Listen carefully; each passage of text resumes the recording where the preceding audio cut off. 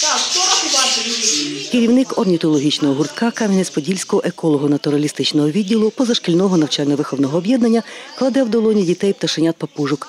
Каже, діти, які пережили жахи війни чи окупації, уникають спілкування з людьми, але охоче граються з тваринами, яких тут багато. І такий контакт їм на користь, розповідає Оксана Трояновська. Дитина прийшла сумна, а потім помітиш, дитина гладить тваринку, і в неї зразу усмішка. Діти спочатку з людьми не йдуть на контакт. Вони знаходять свого улюбленця.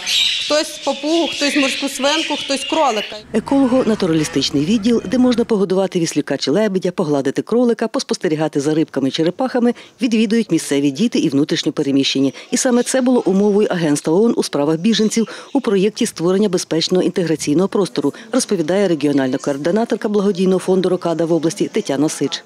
Подібні інтеграційні простори ми е, відкриваємо в тих громадах, де є велика кількість внутрішньопереміщених осіб, які потребують підтримки для їхньої інтеграції в приймаючу громаду. Якщо потрібно е, попрацювати або поспілкуватися із психологом, будуть організовані такі заходи. Якщо людина хоче побути наодинці з природою, тут також є така можливість. Якщо людина хоче поєднати зв'язок з природою та сучасними технологіями, тут завдяки обладнанню також буде така нагода. У новоствореному інтеграційному просторі перші відвідувачі кажуть, що їм найбільше сподобалося.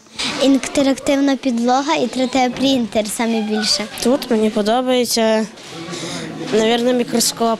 У позашкільному закладі до цього діяли гуртки, які відвідували близько трьох тисяч дітей. Та інтеграційний простір, який розташовується у трьох залах, привабить сюди ще більше відвідувачів, каже директорка закладу Наталія Ілаш. Змінилося все кардинально. Обладнані і тренінгова кімната, і розвантажувальна, і ігрова, де дітки зможуть від е, маленького віку до старших е, тут займатися і отримувати і психологічну допомогу. Інтеграційний простір створювали майже чотири місяці та витратили на оснащення їх сучасною ігровою технікою півтора мільйони гривень, розповідає Тетяна Сич. Це проект, е, який підтриманий агенцією ООН у справах біженців. А Рокада є виконавчим партнером, тобто ми займалися імплементацією цього проєкту.